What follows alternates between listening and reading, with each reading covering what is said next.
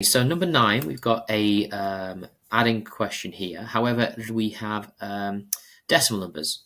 So the one mistake I see a lot of students make with this type of question is they put the numbers in the wrong places in the wrong columns. So if we get that bit right, we have stand a good chance of answering it correctly, as well as putting our placeholders in. Let me show you what I mean. So we can see that we've got a whole number here and a whole number here. We've got 13, so let's write that down first. And forget the rest of the number. Let's get the other bit underneath. Okay, so we need the whole.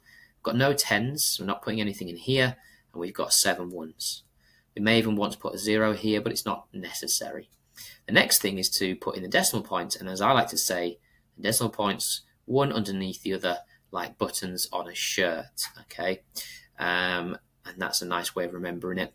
Then we're going to put the other numbers in. So we've got 4, 9, and 3 over here. And we've got 6 and 8. Now I've got all the numbers in the right places. I must remember to add 0 as my placeholder. That way, if this was subtraction, I would know to borrow. So 3 add 0 is 3. 9 add 8 is 17. 7 down, carry 1. 4 and 6 is 10, plus 1 is 11. A 1 down and carry 1.